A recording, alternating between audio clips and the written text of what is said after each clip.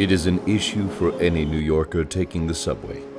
Men taking up unnecessary legroom. What is commonly referred to as manspreading. Men from all walks of life manspread, even famous actors. I think it's downright rude. I mean, selfish. It is inconsiderate. It's really disgusting. But what about the men who manspread? How do they respond? Yes, me and countless other men spread our legs on the subway, but there's a reason that the media is not reporting. This is how we actually walk.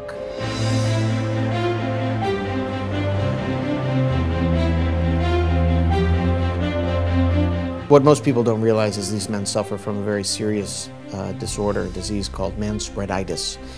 Uh, keeps their legs permanently apart. It's not something that's very comfortable. It's actually very tragic.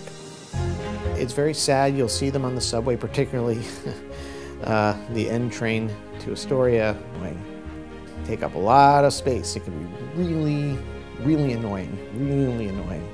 We are just trying to live normal, everyday lives.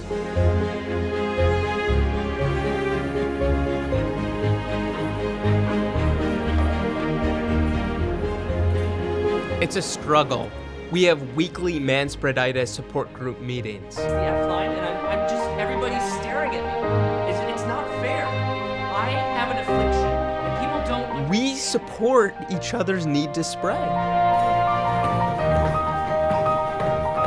We're good people. So the next time before you judge us, just remember we're all just trying to get by.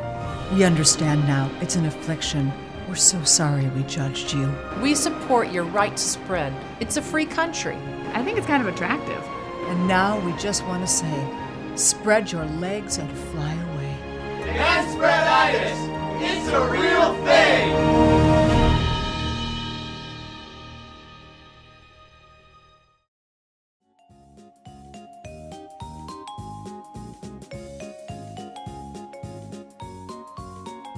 Hold on a second, this is my accountant. Hello?